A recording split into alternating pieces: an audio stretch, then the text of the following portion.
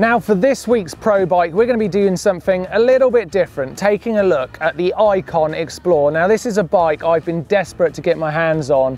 Um, I've seen videos online and some photos. It's an incredible machine. Now what this does is takes people who have got disabilities or riding difficulties up into the mountains, out trail riding and enjoying mountain biking just like everybody else with this incredible machine. So we're going to take a look at some of the details that are on this bike. Some of it's mountain biking, some of it's just crazy bespoke genius stuff. Let's take a look. It's the Icon Explore.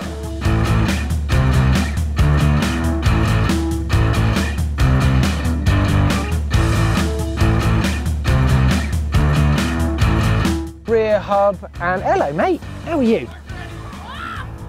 Like it? Now, obviously it's a very dynamic machine and you can see that it's got two wheels up front, so it's really stable. This huge fat tire at the back, tons of grip and tons of power, which we're gonna get to. Great steering, but this is the really special bit about it. Check this out. It leans. It's the only machine in the world that does this. It's incredible. This articulated front end means that this bike can traverse bits of trail that a free-wheeled bike for adaptive sports could never do. Okay, let's start at the cockpit and the things that we'll recognise. Thomson stem and we've got Easton bars, they're Havens, MT7 rear brake, Magura obviously, and then another Magura up the front, we've got the Evo 5 with a junction down in the middle here which splits so that brake lever there is working both of the front 203 rotors uh, for some serious stopping power up the front. Hope hubs on these 20 inch wheels, uh, they're Pro 4s and we've got Creepy Crawler Maxxis tyres on the front. That's actually a 20 inch trials tyre, serious grip. So when you put on that anchor, this baby's gonna stop pretty quick. Now the rider being secure on the bike is crucial to the design of this weapon. So it's got a really clever solution to that. This RideEngine kite surfing harness holds the rider in place so he can't go anywhere else other than right there because they need to be absolutely stable on this bike. Rear wheel sits on a Salsa 170 hub and a Surly fat bike rim this huge tyre. I do love fat bike tyres, they're amazing. And you're probably distracted by this incredible 3000 watt electric motor. Drives this machine along at an absolutely incredible pace with incredible grip with this rear tyre. It's all held in place with quite beautiful CNC work. Got pannier mounts at the back here. So you can not only take yourself out in the mountains, but you can take anything you require whilst you're out there. All of the gubbins for the battery and the electronics is held in place here and it's all surrounded by this beautiful carbon fibre fender that's actually structural. You can see that going down and it's part of the suspension system with that Fox float giving you some really plush back end movement. So this is the man, Christian Bagg, who designed it, made it.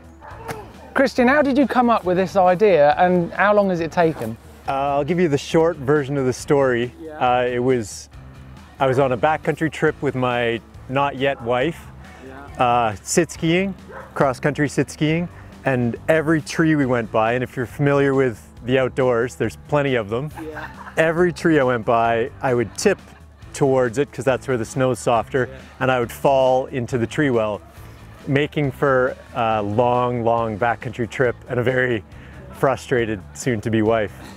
so I, I, I went back home to the drawing board and thought, how do I get one ski to go do what a knee does? Yes. Um, and I, I solved it, and I, so I made this articulating framework. And when I was making these bikes, or starting making a, an off-road bike, it dawned on me one day, after tipping into trees with rocks around instead of snow, that I could flip this front, this thing, this framework that I made and allow me to, to sort of navigate the same sort of terrain in the summer as I was in the winter. So you've obviously got a little bit of a technical mind. You must have some background in this that's not just like every day. Yeah, so I'm a machinist by trade. Uh, when I broke my back, I was doing my apprenticeship and I went back to work sort of about a year after and and I'm tall, I'm six foot five, and so immediately I had to make my own wheelchair because my the chair didn't fit me. Yeah. so I've been I've been sort of building and solving problems my entire wheelchair life. So how long has this project taken you? Because it's an incredible amount of work. There's so many parts to it that are ingenious.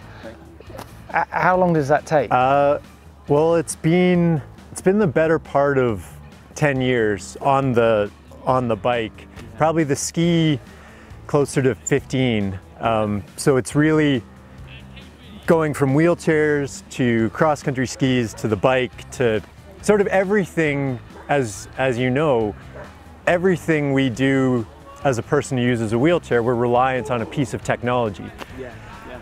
so I've been focused on those pieces of technology for the last two decades. So it really is the culmination of two decades. Wow. And, and so, and in that time, there must have been an awful amount of testing.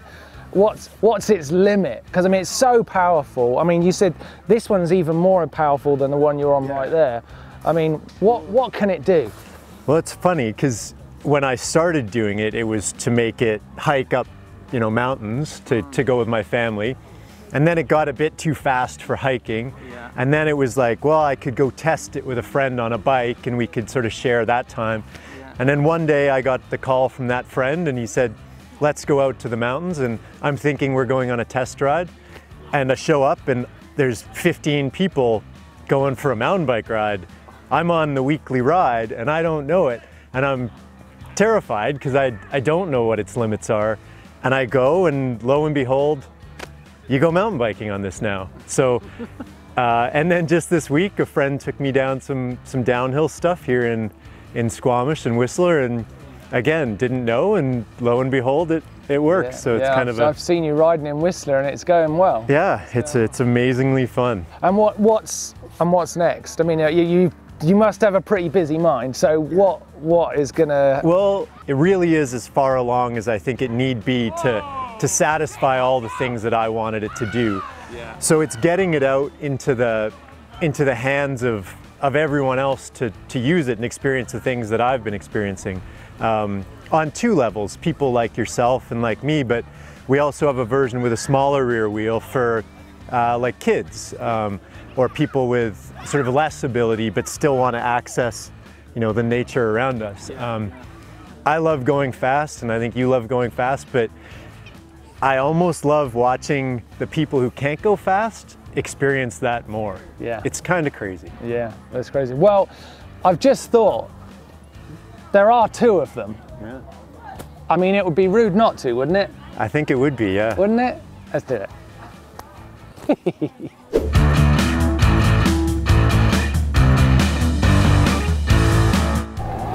Ooh.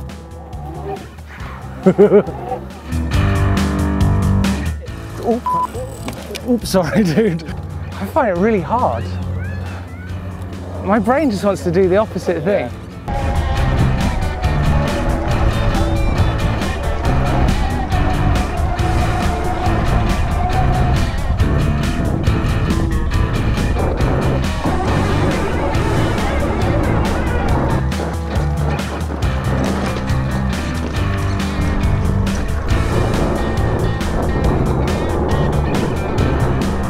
that was sick.